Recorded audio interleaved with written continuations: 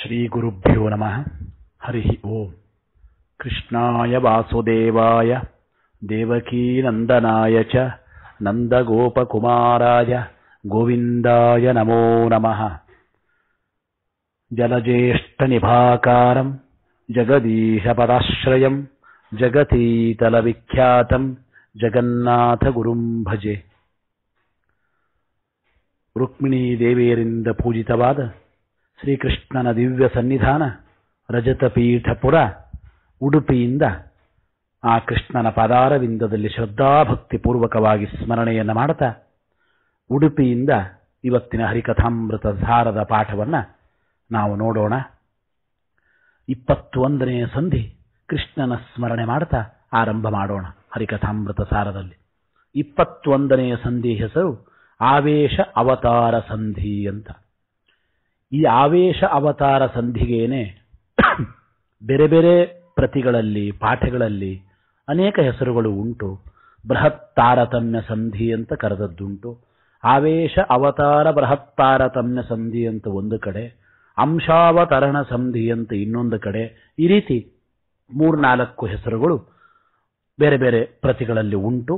ಮತ್ತು ಈ ಆವೇಶ ಅವತಾರ ಸಂಧಿಯನ್ನು ನಾವು ಇವತ್ತಿನ ದಿನದಿಂದ ಇಪ್ಪತ್ತೊಂದನೆಯ ಸಂಧಿಯಾಗಿ ನಾವು ಇಲ್ಲಿ ಅಂದರೆ ತಿಳಿಯುತ್ತಾ ಇದ್ದೇವೆ.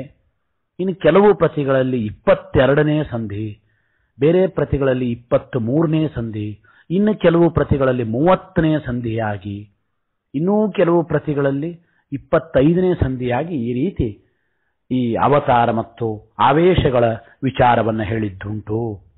ನಾವು ಇವತ್ತಿನಿಂದ ಇಲ್ಲಿ ಆವೇಶ ಅವತಾರ ಸಂಧಿ ಹರಿಕಥಾಮೃತ ಸಾರದ ಇಪ್ಪತ್ತೊಂದನೇ ಸಂಧಿಯಾಗಿ ಇಲ್ಲಿ ತಿಳಿಯುವ ಸೂಚನೆಯನ್ನು ಮಾಡೋಣ. ಮೊದಲು ಜಗನ್ನಾಥದಾಸರು ಇಪ್ಪತ್ತೊಂದನೆಯ ಸಂಧಿ ಯಾತಕ್ಕೆ ಹೊರಟದ್ದು?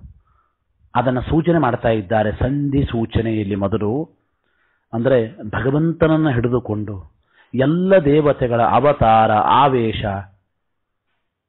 ಅಂಶಗಳನ್ನ ಈ ಒಂದು ಇಪ್ಪತ್ತೊಂದನೆಯ ಸಂಧಿಯಲ್ಲಿ ಸ್ಪಷ್ಟೀಕರಣ ಮಾಡ್ತಾ ಇದ್ದಾರೆ. ಆಚಾರ್ಯ ಮಧ್ವರು ತಮ್ಮ ಸರ್ವಮೂಲ ಗ್ರಂಥಗಳಲ್ಲಿ ಮಹಾಭಾರತ ತಾತ್ಪರ್ಯನಿರ್ಣಯ ಮೊದಲಾದವುಗಳಲ್ಲಿ ಯಾವ ಯಾವ ದೇವತೆಗಳು, ಯಾವ ಯಾವ ಅವತಾರ ಮಾಡಿ ರಾಮಾಯಣ, ಮಹಾಭಾರತ ಮೊದಲಾದವುಗಳಲ್ಲಿ ಭಗವಂತನ ಭೂಭಾರ ಹರಣ ಕಾರ್ಯದಲ್ಲಿ ಸೇವೆ ಮಾಡಿದ್ದಾರೆಂಬುದನ್ನು ತಿಳಿಸಿದ್ದಾರೆ.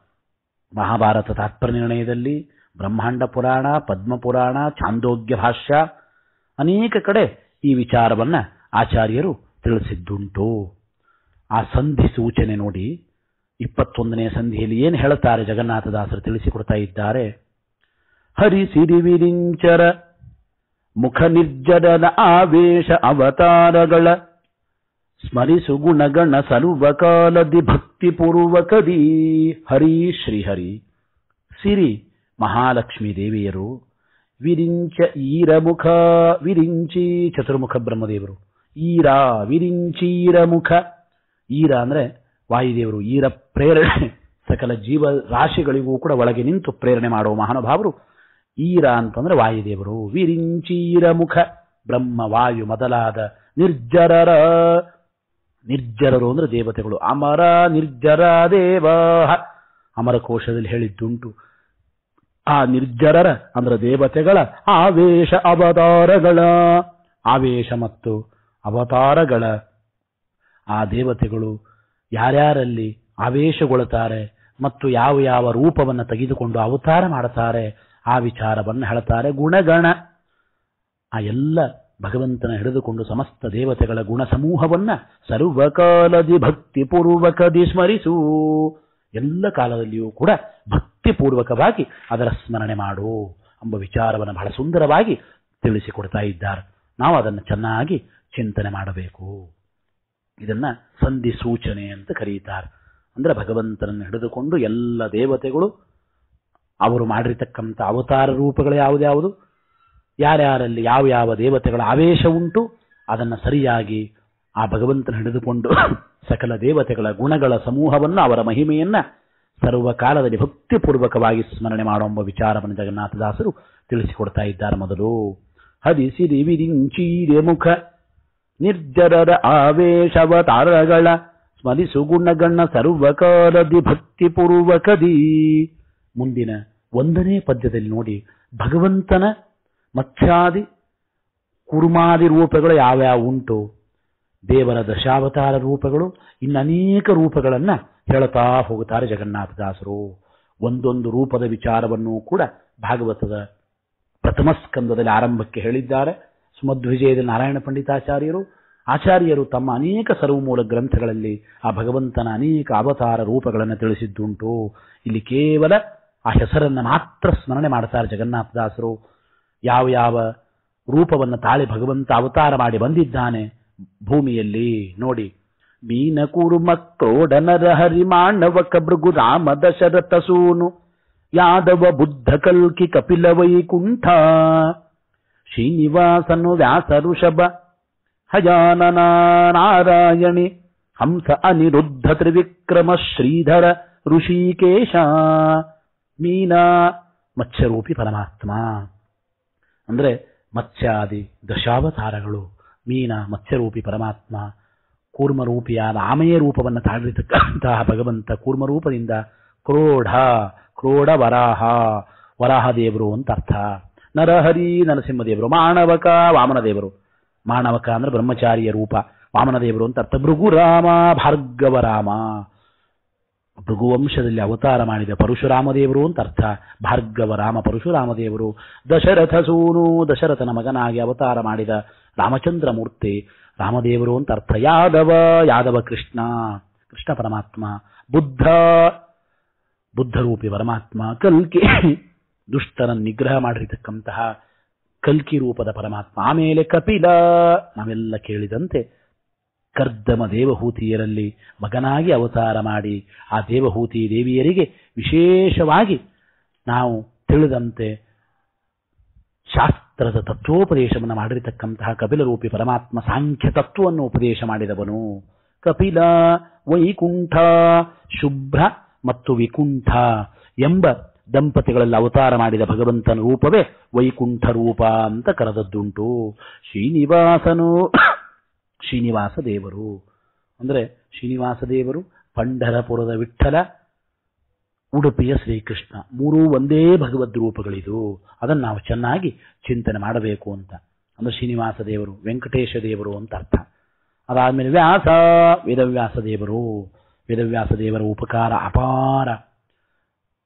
ವೇದಗಳನ್ನು ನಾಲ್ಕು ಭಾಗ ವಿಭಾಗ ಮಾಡಿ, ವೇದ ವಿಭಾಗ ಮಾಡಿ, ವೇದೋದ್ಧಾರವನ್ನು ಮಾಡಿ, ವೇದಾರ್ಥ ನಿರ್ಣಾಯಕವಾಗಿರತಕ್ಕಂತಹ ಐನೂರ ಅರವತ್ತ ನಾಲ್ಕು ಬ್ರಹ್ಮಸೂತ್ರಗಳ ರಚನೆ, ಮಹಾಭಾರತ, ಭಾಗವತಾದಿ ಹದಿನೆಂಟು ಪುರಾಣಾದಿಗಳ ರಚನೆ ಮಾಡಿದ ದಿವ್ಯವಾದ ಜ್ಞಾನಾವತಾರವನ್ನ ತೋರಿರತಕ್ಕಂತಹ ಭಗವಂತನ ರೂಪ, ಅದು ವೇದವ್ಯಾಸ ರೂಪ, ಋಷಭರೂಪಿ ಪರಮಾತ್ಮ.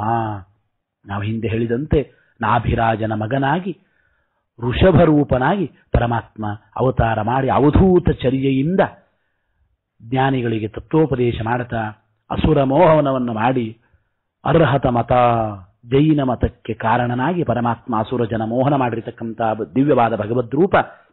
ಅದು ಋಷಭ ರೂಪ. ಹಯಾನನ ಹಯಾನನ ಅಂತಂದ್ರೆ ಹಯಗ್ರೀವ ದೇವರು. ಹಯಗ್ರೀವಾಸುರನ್ನ ಸಂಹಾರ ಮಾಡಲಿಕ್ಕೆ ಬಂದಿರತಕ್ಕಂತಹ ದಿವ್ಯವಾದ ಭಗವದ್ ರೂಪ. ಬ್ರಹ್ಮದೇವರಿಗೆ ವೇದಗಳನ್ನ ಕೊಟ್ಟಿರತಕ್ಕಂಥ ಭಗವದ್ ರೂಪ ಭೂಮಿಯನ್ನು ರಕ್ಷಣೆ ಮಾಡಿದ ಭಗವದ್ ರೂಪ ಅದು ಹಯಗ್ರೀವ ರೂಪ. ಹಯಾನನ ನಾರಾಯಣಿ.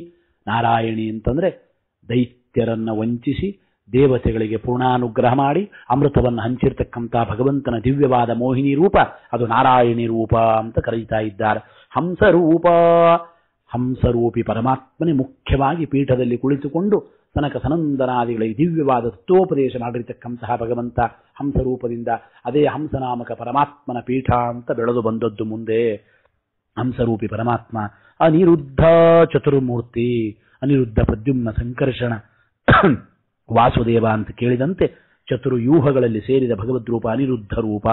ತ್ರಿವಿಕ್ರಮ ಹಿಂದೆ ಹೇಳಿದ ಹಾಗೆ ವಾಮನನಾಗಿದ್ದವನು, ತ್ರಿವಿಕ್ರಮನಾಗಿ ಬೆಳೆದಿರತಕ್ಕಂಥ ಅದ್ಭುತವಾದ ಇನ್ನೊಂದು ಭಗವದ್ ರೂಪ, ಅದು ತ್ರಿವಿಕ್ರಮ ರೂಪ ಅಂತ ವಿಶೇಷವಾಗಿ ಹೇಳಿದ್ದುಂಟು. ಮೂರು ಲೋಕಗಳನ್ನು ಕೂಡ ಅಳೆದು ಗಂಗೆಗೆ ಜನ್ಮವಿತ್ತಿರತಕ್ಕಂಥ ಭಗವದ್ ರೂಪವೇ ತ್ರಿವಿಕ್ರಮ ರೂಪ. ಶ್ರೀಧರ ಅಂತ ಶ್ರೀಧರ ಶ್ರೀಧರ, ಶಂಧರ ಒಂದೇ ಶ್ರೀಧರ, ಋಷಿಕೇಶಾದಿ ರೂಪಗಳೆಲ್ಲವೂ ಕೂಡ ಶ್ರೀಧರ, ಋಷಿಕೇಶ ಆ ಭಗವಂತನ ಇಪ್ಪತ್ನಾಲ್ಕು ರೂಪಗಳಲ್ಲಿ ಸೇರಿರತಕ್ಕಂಥ ಭಗವದ್ ರೂಪ, ಅದು ಶ್ರೀಧರ ರೂಪ.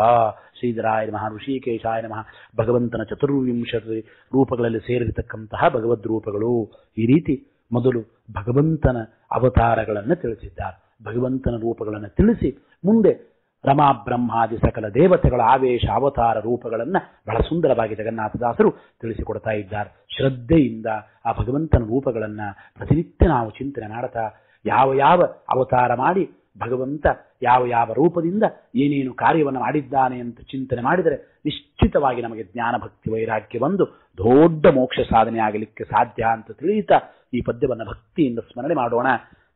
ಮೀನ ಕುರುಮ ಕ್ರೋಢನರ ಹರಿ ಮಾನವಕ ಭೃಗು ರಾಮ ದಶರಥ ಸೂನು ಯಾದವ ಬುದ್ಧ ಕಲ್ಕಿ ಕಪಿಲ ವೈಕುಂಠ ಶ್ರೀನಿವಾಸನು ವ್ಯಾಸ ಋಷಭಯಾನನ ನಾರಾಯಣಿ ಹಂಸ ಅನಿರುದ್ಧ ತ್ರಿವಿಕ್ರಮ ಶ್ರೀಧರ ಋಷಿಕೇಶ.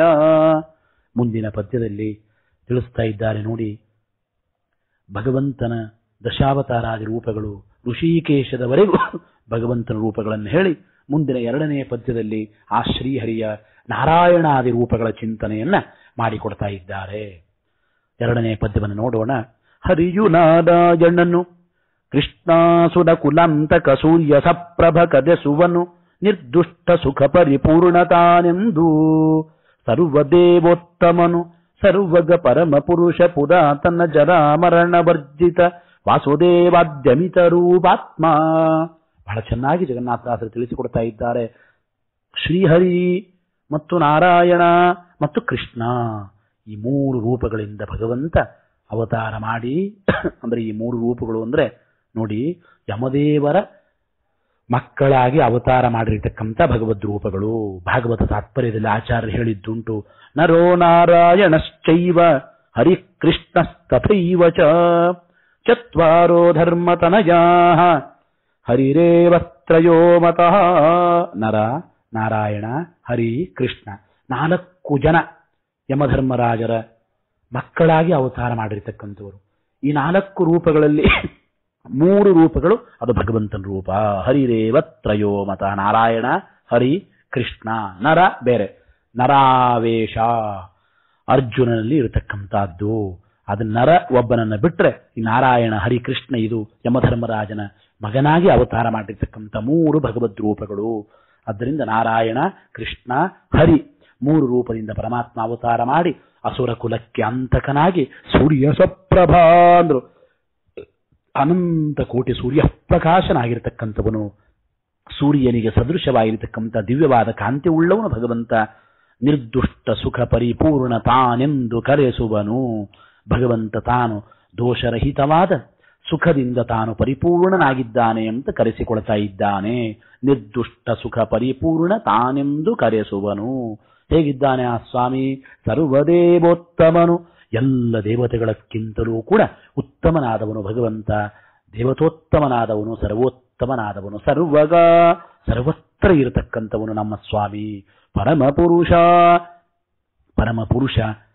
ಆದ್ದರಿಂದ ಪರಮರು ಉತ್ತಮರಾಗಿರ್ತಕ್ಕಂಥ ರಮಾಬ್ರಹ್ಮಾದಿ ದೇವತೆಗಳು ಅವರಲ್ಲಿಯೂ ಕೂಡ ಪುರುಷನಾದವನು. ಕ್ಷರಾಕ್ಷರ ಪುರುಷರನ್ನ ಮೀರಿ ಇದ್ದವನು ಪರಮಪುರುಷ ಪುರಾತನ ಪುರಾತನನಾದವನು. ಅನಾದಿ ನಿತ್ಯನಾದವನು ಪರಮಾತ್ಮ, ಅತೀ ಪ್ರಾಚೀನ ಪುರಾತನ ಅಂದ್ರೆ ಆ ಭಗವಂತನೇ. ಜರ ಮರಣ ವರ್ಜಿತ, ಜರ ಮುಪ್ಪು, ಮರಣ ಸಾವು. ಮುಪ್ಪು ಸಾವುಗಳಿಂದ ರಹಿತನಾದವನು ಜರಾಮರಣ ವರ್ಜಿತನಾದವನು ಪರಮಾತ್ಮ. ವಾಸುದೇವಾದ್ಯಮಿತ ರೂಪಾತ್ಮ ವಾಸುದೇವಾದಿ ಅನಂತ ರೂಪಗಳನ್ನು ಹೊಂದಿದವನು ನಮ್ಮ ಸ್ವಾಮಿ ಎಂಬ ವಿಚಾರವನ್ನು ಜಗನ್ನಾಥದಾಸರು ಬಹಳ ಸುಂದರವಾಗಿ ಮೊದಲು ಎರಡು ಪದ್ಯಗಳಲ್ಲಿ ಭಗವಂತನ ದಿವ್ಯವಾದ ಮಹಿಮೆ ರೂಪಗಳ ಅವತಾರಗಳನ್ನ ತಿಳಿಸ್ತಾ ಮುಂದಿನ ಮೂರನೇ ಪದ್ಯದಿಂದ ಮಹಾಲಕ್ಷ್ಮಿಯ ಅವತಾರವನ್ನ, ಮಹಾಲಕ್ಷ್ಮಿಯ ಸ್ವರೂಪ, ಅವಳ ಮಹಿಮೆಯನ್ನ ಮೂರನೇ ಪದ್ಯದಿಂದ ತಿಳಿಸ್ತಾ ಇದ್ದಾರೆ. ಇನ್ನೊಮ್ಮೆ ಶಬ್ದಾರ್ಥ ನೋಡಿ ಹರಿಯು ನಾರಾಯಣನು ಕೃಷ್ಣ, ಅಸುರ ಕುಲಾಂತಕ, ಹರಿ ನಾರಾಯಣ ಕೃಷ್ಣ ಎಂಬ ಮೂರು ರೂಪಗಳನ್ನು ತಾಳಿ ಪರಮಾತ್ಮ ಅಸುರ ಕುಲಾಂತಕನಾಗಿ ಸೂರ್ಯ ಸಪ್ರಭ, ಸೂರ್ಯನಿಗೆ ಸದೃಶವಾಗಿರತಕ್ಕಂಥ ದಿವ್ಯವಾದ ಪ್ರಭಾ ಕಾಂತಿ ಉಳ್ಳವನು ಮತ್ತು ನಿರ್ದುಷ್ಟ ಸುಖ ಪರಿಪೂರ್ಣತಾನೆಂದು ಕರೆಸುವನು. ದೋಷರಹಿತವಾದ ದಿವ್ಯವಾಗಿರತಕ್ಕಂಥ ಸುಖಗಳಿಂದ ಪರಿಪೂರ್ಣನಾಗಿದ್ದಾನೆ ಅಂತ ತಾನು ಕರೆಸಿಕೊಂಡು ಸರ್ವದೇವೋತ್ತಮನು. ಎಲ್ಲ ದೇವತೆಗಳ ಮಧ್ಯದಲ್ಲಿ ಸರ್ವೋತ್ತಮನಾಗಿರತಕ್ಕಂಥವನು ಪರಮಾತ್ಮ. ಅವನು ಸರ್ವಗ, ಸರ್ವತ್ರ ಇದ್ದವನು, ಪರಮ ಪುರುಷನಾಗಿ, ಪುರಾತನ ಪುರುಷನಾಗಿ ಜರಾಮರಣ ವರ್ಜಿತನಾದವನು ಅಂತಹ ಭಗವಂತನೇ ವಾಸುದೇವಾದ್ಯಮಿತ ರೂಪಾತ್ಮ. ವಾಸುದೇವಾದಿ ಅನಂತ ರೂಪಗಳುಳ್ಳವನು ನಮ್ಮ ಸ್ವಾಮಿ. ಇದನ್ನು ತಿಳಿಯಬೇಕು ಎಂಬ ಮಾತನ್ನ ಬಹಳ ಸುಂದರವಾಗಿ ಜಗನ್ನಾಥದಾಸರು ಆ ಶಾಸ್ತ್ರೀಯವಾದ ವಿಚಾರವನ್ನು ಭಗವಂತನ ರೂಪಗಳನ್ನ ನಮಗೆ ಸಂಗ್ರಹ ಮಾಡಿ ತಿಳಿಸಿಕೊಡ್ತಾ ಇದ್ದಾರೆ. ಶ್ರದ್ಧಾಭಕ್ತಿಯಿಂದ ಪ್ರತಿನಿತ್ಯ ಭಗವಂತನ ರೂಪಗಳ ಸ್ಮರಣೆ ಮಾಡಿದರೆ ಆಯಾ ರೂಪಗಳ ಪೂರ್ಣಾನುಗ್ರಹದಿಂದ ನಮಗೂ ಕೂಡ ನಮ್ಮ ಯೋಗ್ಯತೆಗೆ ಅನುಗುಣವಾಗಿ ಸಕಲ ಸೌಭಾಗ್ಯ ನಿಶ್ಚಿತವಾಗಿ ಪ್ರಾಪ್ತವಾಗುತ್ತದೆ ಅಂತ ತಿಳಿಸ್ತಾ ಈ ಪದ್ಯವನ್ನು ಪಠನೆ ಮಾಡೋಣ. ಹರಿಯು ನಾರಾಯಣನು ಕೃಷ್ಣ ಅಸುದ ಕುಲಂತಕ ಸೂರ್ಯ ಸಪ್ರಭ ಕದೆಸುವನು ನಿರ್ದುಷ್ಟ ಸುಖ ಪರಿಪೂರ್ಣತಾನೆಂದು ಸರ್ವದೇವೋತ್ತಮನು ಸರ್ವಗ ಪರಮ ಪುರುಷ ಪುರಾತನ ಜರಾಮರಣ ವರ್ಜಿತ ವಾಸುದೇವಾದ್ಯಮಿತ ರೂಪಾತ್ಮ. ಶ್ರೀಕೃಷ್ಣಾರ್ಪಣಮಸ್ತು.